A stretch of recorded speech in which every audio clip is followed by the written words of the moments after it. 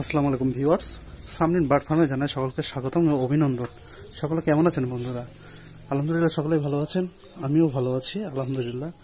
তো বন্ধুরা, প্রতিদিন তো আপনার একঘেয়েমি যে ভিডিওগুলো দেই, পাখি আপডেট, পাখির আপডেট, তো সবাই হয়তো বা ভিডিও দেখতে একটু অভ্যস্ত হয়ে গেছেন এবং এখন আর দেখতে ভালো লাগে না হয়তো বা তো আজকে একটা ভিন্ন ধরনের টপিক নিয়ে আপনাদের সামনে চলে আসলাম। তো টপিকসটা খুবই ইম্পর্টেন্ট সবাই অবশ্যই পুরো ভিডিওটা দেখবেন। কারণ এটা খুবই পাখির জন্য প্রয়োজনীয়। তো আজকে যে বিষয়টা নিয়ে কথা বলব, সেটা হচ্ছে কৃমি। কৃমি যেমন মানুষের হয়, পাখিরও কিন্তু হয়। তো মানুষের যেমন ছয় মাস পর পর কৃমির ওষুধ খাওয়া লাগে, ও পাখিরও কিন্তু এরকম কৃমির কোর্স আছে। তো কৃমির লক্ষণ সমূহ কীগুলো চলেন একটু দেখে আসি। তো কৃমির যে লক্ষণ সমূহগুলো আছে, তো তার মধ্যে হচ্ছে পাখির বুক শুকিয়ে যাওয়া, পাখির খাদ্য অনীহা রক্ত আমাশা ডায়রিয়া, তারপরে মনে করেন যে আপনার ওজন কমে যাওয়া, এইগুলো আরও অনেক কিছুই আছে। তো এগুলো সবসময় দেখা যায় আর কি, বিশেষ করে বুক শুকিয়ে যাওয়া, খাওয়ার অনীহা, রক্ত রক্ত আমাশয় করা বা মনে করেন যে ওজন কমে যাওয়া, এগুলো খুবই মানে সচরাচর দেখা যায়। তো আরও একটা জিনিস, কৃমির জন্য কিন্তু পাখি মারাও যেতে পারে।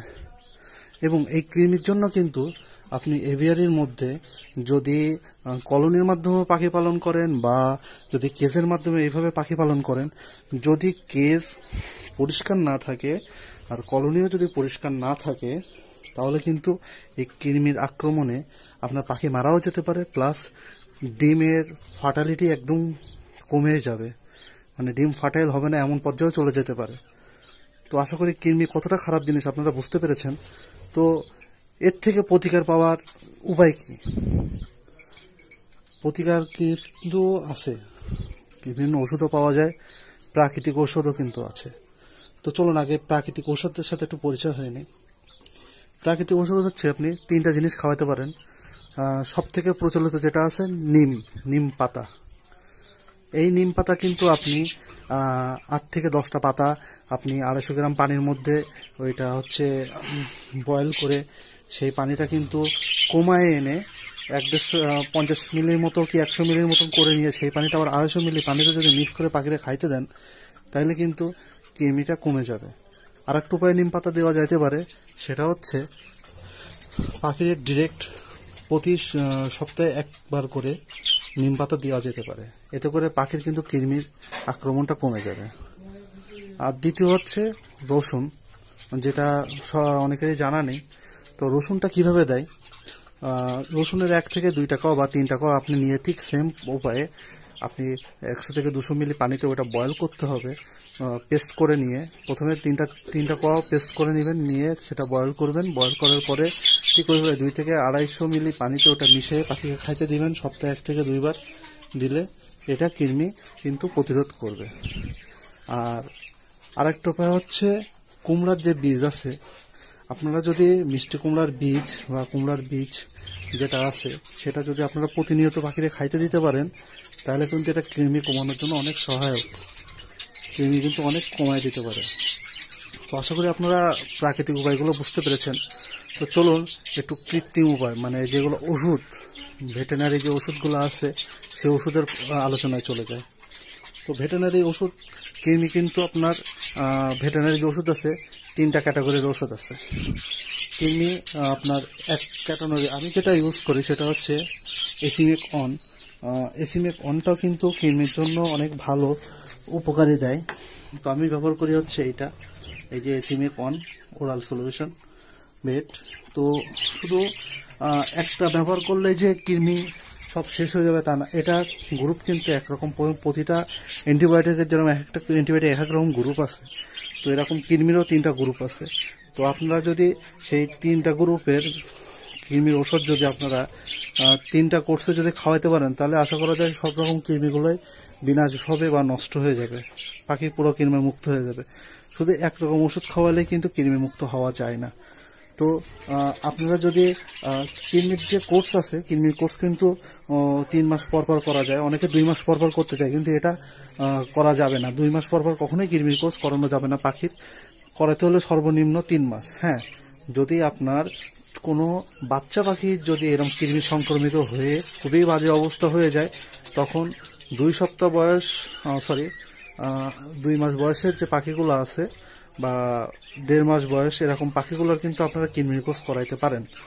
তো কিনমির কোর্স তিন মাস আগের কোনো পাখিকে করানো যাবে না। তিন মাস বয়স হওয়ার পরে পাখিকে কিনমির কোর্স করাইতে হবে এবং প্রতি তিন মাসে আপনি একবার করে কিনমির কোর্স করাইতে পারেন। তো সবার মনের মধ্যে একটা প্রশ্ন হতে পারে, আমার তো কলোনি, আমি কলোনির মধ্যে কিনমির কোর্স কীভাবে করব?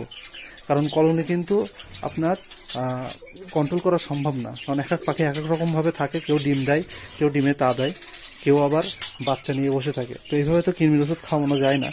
তো কলোনি যদি আপনি পরিষ্কার করতে পারেন সপ্তাহে মানে মাসে তিন থেকে চারবার বা অর্ধে পাঁচবার যদি পরিষ্কার করেন, তো কলোনি যখন পরিষ্কার থাকবে তখন কিন্তু কৃমি সংক্রমক আপনার থাকবে না। আপনি বছরে একটা বার যদি কৃমির কোর্স করান তাহলে হয়ে যাবে। আর আপনি প্রতি মাসে বা সপ্তাহে যদি একটু নিম পাতা দিতে পারেন, তাহলে তো আলহামদুলিল্লাহ কোনো কথাই নাই। আর যদি আপনারা আরেকটা কাজ করতে পারবেন, সেটা হচ্ছে কলোনির মধ্যে আপনার পাখিকে রেস্টে যখন দিবেন, সেই সময়টা কৃমির পোস্টটা করায় নিতে হবে।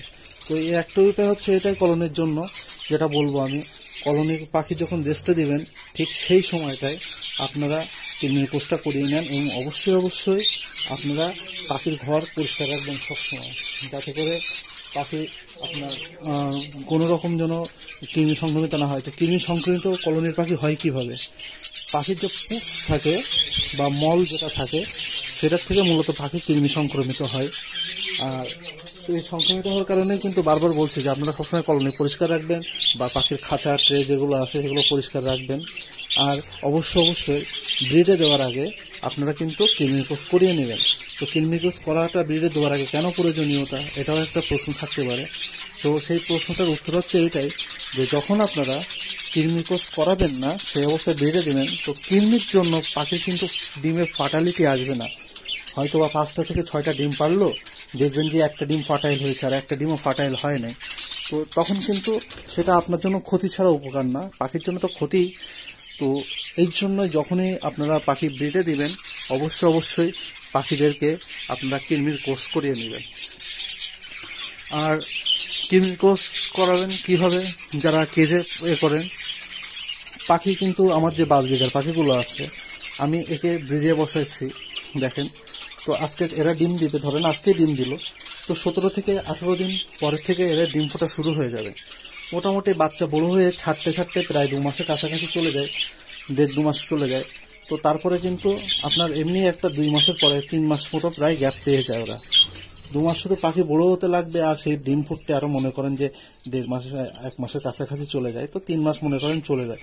তো আমি যখন এদের বাচ্চাগুলো আমি তিন মাসের পরে যখন কালেক্ট করে নেব, তখন কিন্তু আমি এদেরকে কৃমির কোষটা করিয়ে আবার বেড়ে দিতে পারি। তো বছরে যখন আমি চারবার এদেরকে ব্রিড করাচ্ছি, মধ্যে পাঁচবারও যাই তো চারবার যখন ব্রিড করাবো, তখন কিন্তু আমি বছরে চারবার কৃমি কোর্স করাতে পারছি। এতবার করানোর প্রয়োজন নাই, যদি কৃমি যদি সংক্রমণ না থাকে। তো আপনারা বছরে এক থেকে দুইবার করলেন। তো ধরেন তিনবার উদ্ধে তিনবারই করলেন। তো তিনবারই তিন গ্রুপের কৃমির ওষুধ নেবেন। তো আমি বলব, প্রথমবার যদি আপনারা এভিনেক্স সরি এসিমেক অন দিয়ে যদি কৃমির কোর্স করান, তো পরে তিন মাস পরে যে, বা চার মাস পরে যে আপনারা পেরাভেট নামে আর একটা কৃমির ওষুধ আছে সেটা থেকে করাইতে পারেন তো তারপরে আবার ঠিক হচ্ছে আর তিন মাস থেকে বা চার মাস পরে যে আপনারা ঠিক আবার একইভাবে এভিনেক্স নামে আরেকটা ওষুধ আছে, সেটা থেকেও কিন্তু কৃমি কোর্স করাইতে পারে। তো কৃমি কোর্স করার সুফল আপনাদেরকে ছোট্ট একটা জিনিস দেখায়। আপনারা ভালো মতনই জানেন যে আমার লাভবারটা কিন্তু দুইটার বেশি ডিম দেয়নি। গতবার কিন্তু দুইটা ডিম দিয়েছিল, এও কিন্তু গতবার পাঁচটা ডিম দিয়েছিল, তার পরের বারও পাঁচটা ডিম দিয়েছে। তো আলহামদুলিল্লাহ পাঁচটা ডিমই কিন্তু ফার্টাইল ছিল, কারণ আমি তো কৃমি কোর্স করিয়ে কিন্তু বসিয়েছিলাম। লাভ লাভবারের ক্ষেত্রেও সেম একেও আলাদাভাবে কৃমি কোর্স করিয়ে একে বসিয়েছিলাম। প্লাস আপনারা কিন্তু জানেন, আমি বারবার আগে বলছিলাম যে আমার পাখি কিন্তু দুইটা বেশি ডিম দেয়নি, এবারও মনে হচ্ছে দুইটা বেশি ডিম দিবে না। তো আমি বলছিলাম দুই দিন পরে আপনাদের ভিডিও বক্সটা দেখাবো। তো চলেন, আজকে আপনাদের একটু বক্সটা দেখিয়ে নিয়ে আসি। দেখেন, আপনারা কি বোঝেন? বিসমিল্লাহ। তো বন্ধুরা, আশা করি বুঝতে পেরেছেন কৃমির ওষুধ যে এত উপকার। এটা কিন্তু আপনার ডিম পাড়ায় বলেন বা ডিমের ফার্টালিটির জন্য খুবই উপকার কৃমির ওষুধটা। তো কেন আমি কৃমির কোর্সের কথা বলছি আপনাদের বুঝতেই পেরেছে তো আপনারা সবাই অবশ্যই অবশ্যই খেয়াল রাখবেন আপনার পাখিগুলোর বুক শুকিয়ে যায় কিনা, পাখির খাবার অনিয়া আছে কিনা, বা পাখি আপনার ঝিম ধরে বসে আছে কিনা, পাখির পেট ফুলে গেছে কিনা, পাখি রক্ত আমাশাই করছে কিনা, তারপরে পাখি ডায়রিয়া মানে পাতলা পায়খানা করছে কিনা, এগুলো সবসময় একটু খেয়াল রাখবেন। যাতে করে আপনারা বুঝতে পারেন যে আপনাদের পাখির কৃমি হয়েছে কি না তো আমি ঠিক এইভাবে খেয়াল রাখি প্রতিটা পাখি, যে পাখিটা দেখি যে কৃমি সংক্রমক হয়েছে বা হচ্ছে, এমন কোনো পাখিকে আমি ব্রিডে দেই না। পাখিকে আগেই মনে করেন যে আমি কৃমির কোর্স করিয়ে নিই, তারপরে পাখিদের ব্রিডে দেই। তো এইভাবেই বন্ধুরা কৃমি থেকে কিন্তু আপনারা বাঁচতে পারেন। তো আশা করি আপনারা বুঝতে পেরেছেন। তারপরেও যদি কারোর মনের মধ্যে প্রশ্ন থাকে কৃমি নিয়ে, তাকে কৃমি রোগ থেকে কী করে বাঁচাবো, কি না, ইনশাল্লাহ আমার কাছে জিজ্ঞাসা করবেন। আমি আপনাদের সব কিছু ভেঙে বলব। কৃমি কিন্তু একরকম না, পাখিদের অনেক রকম পাখি কৃমি আছে। আমাদের যেরকম শরীরে গোল কৃমি, সুতা কৃমি ফিতা কৃমি এরকম আছে, পাখিদেরও কিন্তু সেম পাখিদেরও কিন্তু বিভিন্ন রকম কৃমি অ্যাটাক করে। তবে মনে রাখবেন, পাখির প্রথম অ্যাটাক কৃমি থেকে করে হচ্ছে পাখির মল থেকে। পাখির মল যখন পাখিরা খায় বা ঠোকায় সেখান থেকে কিন্তু কৃমির সংক্রমণ শুরু হয়। অনেকে আছেন, পাখির ট্রেতে যে খাবারগুলো থাকে, যে খাবার পড়ে যায়। যেমনটা মনে করেন যে আমার এই খাতার মধ্যে খাবার পড়ে আছে দেখতে পাচ্ছেন, অনেক খাবার কিন্তু পাখি নষ্ট করছে। আমি যদি এইগুলো নিয়ে আবার পাখিকে দিয়ে দেই পাখি কিন্তু এর সাথে পাখির মলও উঠে যাবে। তো এই মল খাওয়ার কারণে কিন্তু পাখির কৃমি আপনার শুরু হয়ে গেল। কৃমির অ্যাটাক কিন্তু শুরু হয়ে গেল। পাখির মল থেকে মূলত কৃমির অ্যাটাকটা শুরু হয়। এই জন্য বারবার বলছি, যারা কেজে করেন, অবশ্যই অবশ্যই সপ্তাহে দুই থেকে তিন দিন কেজটা পরিষ্কার করেন। কেজে কিন্তু জীবাণুনাশক স্প্রে করেন। আর ট্রেটা কিন্তু অবশ্যই অবশ্যই পরিষ্কার রাখবেন। আর যারা এভিয়ারির মধ্যে মানে কলোনির মধ্যে যারা করেন, তারা সপ্তাহে এক থেকে দুইবার অবশ্যই অবশ্যই এভিয়ারিটা পরিষ্কার করবেন। যাতে করে পাখির মল মূত্র যেন পাখি আবার না খাইতে পারে। অবশ্য অবশ্যই এটা আপনারা খেয়াল রাখবেন, তবে ইনশাল্লাহ আপনারা কিন্তু সাকসেসফুল ব্রিড পাবেন সাকসেসফুলি ডিম ফার্টালিটি আসবে, পাখি কিন্তু হঠাৎ করে এক্সপায়ার হবে না।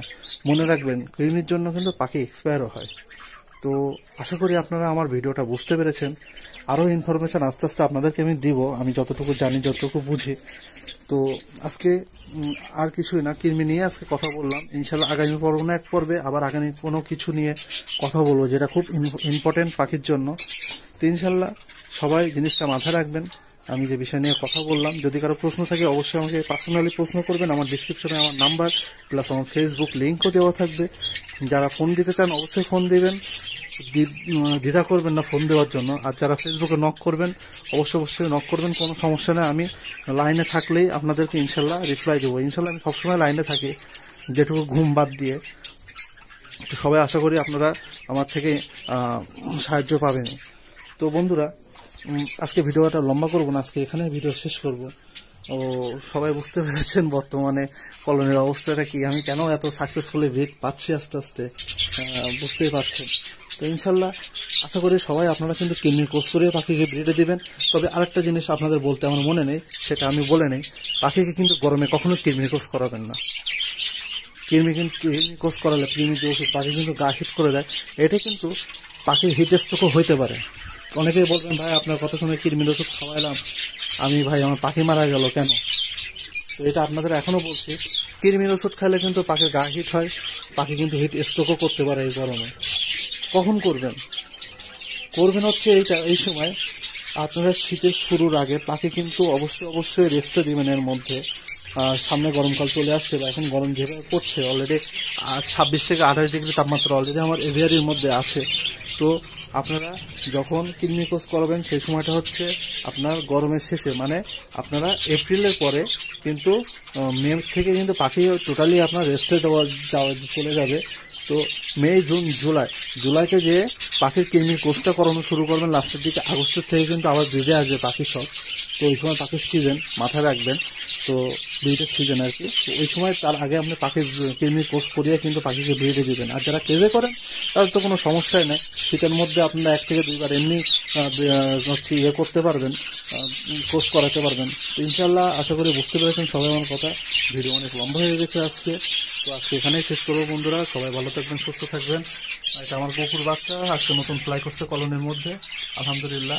দেখেন তো বন্ধুরা কালার মাছটা অনেক সুন্দর। তো আজকে ভিডিও লম্বা করব না। ছোট্ট একটা ইনফরমেশান কিন্তু কত বড় হয়ে গেল, বুঝতেই পারছেন। সব কিছু বোঝায় বোঝায় বলতে গেলে একটু সময় লাগে।